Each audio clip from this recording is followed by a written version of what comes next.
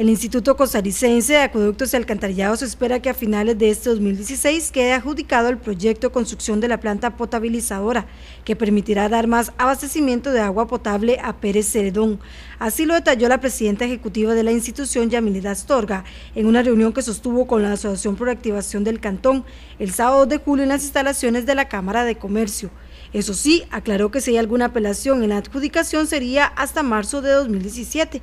Posteriormente, la construcción tardaría entre 12 y 18 meses. Antes que el compromiso que adquirimos lo hemos venido cumpliendo, o sea, el proyecto ya está eh, a punto de que en el momento que vengan las subsanaciones, el AIA conforma dentro de un comité un equipo que revisa eh, las ofertas que ya llegan, eh, se revisa el punto, desde el punto de vista legal, desde el punto de vista técnico como desde el punto de vista financiero y en función de esto se adjudica eh, la obra. Asimismo dijo que están coordinando con el Ministerio de Obras Públicas y Transportes para hacer las conexiones. Eh, lo tiene ahorita la viceministra Giselle Alfaro, eh, con ella conversé hace una semana y lo que me dijo es que ya la gente estaba de gira para hacer la, la inspección en el sitio, porque si nosotros podemos hacer esto, ahí no necesariamente nos ganamos el tiempo, porque el tiempo mayor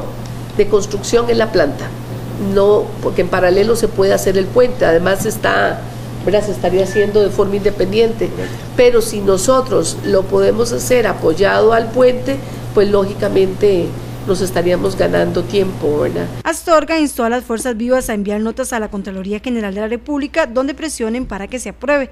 Es que ustedes también nos apoyen ahí en pues en hacer gestiones en la Contraloría, ¿verdad? diciendo sobre todo la importancia de este proyecto, la espera que ha tenido Pérez Celedón en contar con un proyecto eh, pues que lógicamente venga a darles mucho mayor ¿verdad? capacidad hídrica y que y, sobre todo por la espera. Con respecto al tema, el vicepresidente de la Asociación por Reactivación, Jaime Rojas, indicó que hay pocos avances del proyecto. Realmente los avances son pocos, ¿verdad? Eh, yo creo que, hemos hecho reuniones que no los hemos eh, eh, ubicado en la realidad y aquí se trata de eso, pidiendo cuentas cuando hacemos una reunión con la autoridad, de dar seguimiento a lo que dejamos la última vez planteado. Sí es importante recalcar acá la posibilidad de la construcción de unos tanques de depósito, usted escuchó tal vez ahí, y también viene la preocupación de que a veces el abastecimiento de agua en el cantón no se da porque los tanques que tenemos están malos, entonces hay que volverlos a hacer nuevos, eh, tanques de depósito digamos de, de 3.000 metros cúbicos, que realmente vendría abastecer gran parte del faltante de agua en el cantón. El proyecto para mejorar el sistema de abastecimiento de agua potable contempla tres etapas, dos de ellas ya están listas. Se trata de la sustitución de un tanque en La Trocha y Palmares, además de la línea de conducción de la planta al tanque, sumado a ello la instalación de tubería de conducción. La tercera etapa es la construcción de la planta potabilizadora, que es la parte más importante del proyecto. Esta obra tiene una inversión de 8 mil millones de colones, los cuales provienen del Banco Centroamericano de Integración Económica.